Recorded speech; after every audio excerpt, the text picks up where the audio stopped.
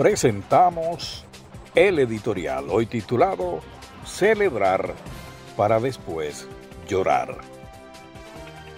El director general de la Organización Mundial de la Salud ha instado a tener precaución sobre las fiestas de Navidad en el contexto de un aumento de contagios de COVID-19 a nivel mundial.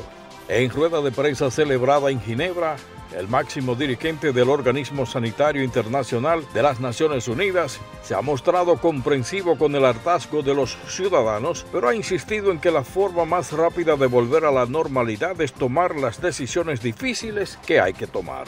Ha reconocido que en algunos casos eso significará la cancelación o el retraso de los eventos de Navidad.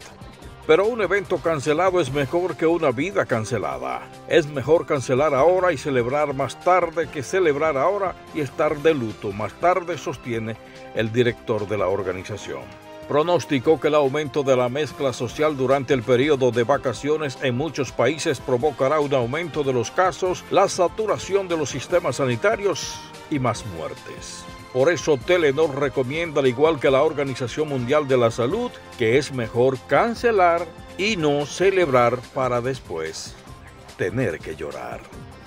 Hasta el próximo comentario.